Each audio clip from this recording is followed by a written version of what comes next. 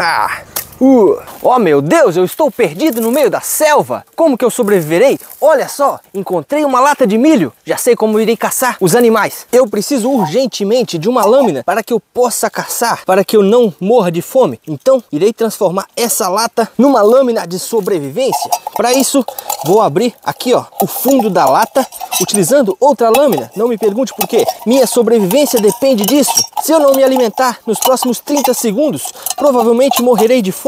Essa técnica de sobrevivência pode me salvar. Depois que eu removi a tampa aqui, eu utilizarei minhas técnicas de sobrevivência que eu atingi quando estava no exército e quando subi três vezes ao Monte Everest para desentortar as beiradas dessa lata. Eu preciso deixar ela o mais reta possível e nada melhor para fazer isso do que outra lâmina. Sem uma lâmina é impossível sobreviver. Por isso que eu tenho que fazer a minha própria lâmina aqui. Veja só. Agora tudo que eu preciso encontrar é um pedaço de madeira que eu possa cortar. Veja só, temos aqui um pé de café nativo da região.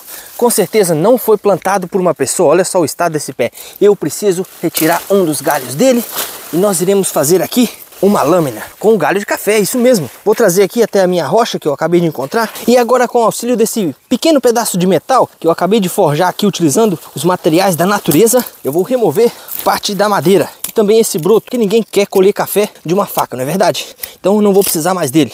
Vou remover também o excesso e aqui no meio nós vamos fazer um pequeno taio. Isso daqui pode salvar a sua vida. Olha só, abrir assim no meio e depois colocar isso daqui bem no centro. Olha só o que nós vamos fazer aqui agora. E agora é só eu dobrar essa lateral aqui, ó, para cima. E agora para que a nossa ferramenta de caça super poderosa possa funcionar, nós só precisamos aqui de uma fibra. Quem sabe um cipó? Vamos selva, temos que encontrar onde nós vamos achar. Olha só, que sorte, encontramos aqui uma rara espécie de cipó que já vem em rolo. Posso remover uma parte aqui com o auxílio de uma pedra. Nós iremos prender esse cipó raríssimo aqui na ponta. É só apertar bem assim, depois trazer ele novamente para outra extremidade, dar mais uma volta, voltar para a extremidade inicial e repetir esse movimento para que a gente tenha uma ferramenta muito funcional que servirá até para caçar leões. É só enrolar bastante o cipó aqui com toda a nossa força, com todo o nosso entusiasmo e depois de ele bem enrolado, de ele posicionado, nós damos aqui um nó conhecido como nó doidão. É só amarrar assim e depois mais um nó. Olha só, finalmente estamos prontos para caça. E agora, munido do melhor machado do mundo, podemos finalmente ir à caça. Vamos comigo? Bora lá. Será que eu vou conseguir encontrar algo para sobreviver nessa selva? Olha, eu acho que eu encontrei uma presa. Ela está bem aqui. Será que eu vou conseguir caçá-la? Ela está bem ali em cima. E agora então é só eu atacar a presa. Ah, outra presa aqui.